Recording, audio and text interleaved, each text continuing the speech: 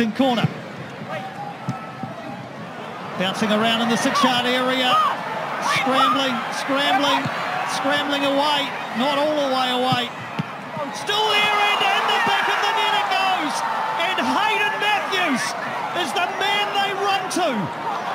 The 20-year-old centre-back with his first A-League men's goal has put Sydney FC into an 83rd minute lead here.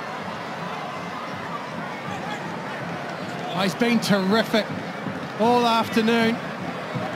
He's had a demanding game so far. Guillermo May defensively this time finds his way in Alex Paulsen's 18-yard box.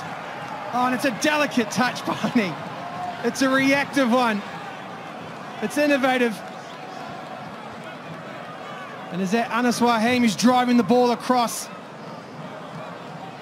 Just wanting to get it back into an area where a teammate can get a touch, and that teammate was Hayden Matthews. And look how they celebrate, Piney. It's going to be Brimmer. It's dangerous. Is that handball?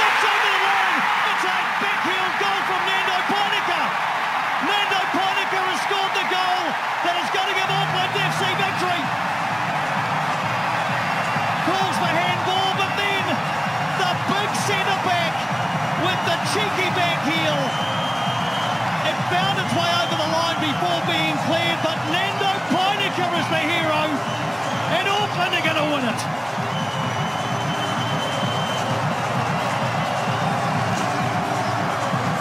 Oh, it ain't crazy. It's football. How have they been separated this afternoon? Sydney hoping for a VAR. We'll get a chance to view things here. No suggestion of offside. No one else touches the ball apart from Nando Pijnaker. It's over Sakai, over Mata, falls to Pijnaker. And just for a moment, only a moment, Piney, does that ball cross the line. What a competition we've had here at Mount Smart this afternoon. Yeah, it doesn't have to hit the net, doesn't have to stay in the goal, just simply has to cross the line. They don't deserve it, Piney. Football is cruel like that. Not only in the last minute, but in front of the port.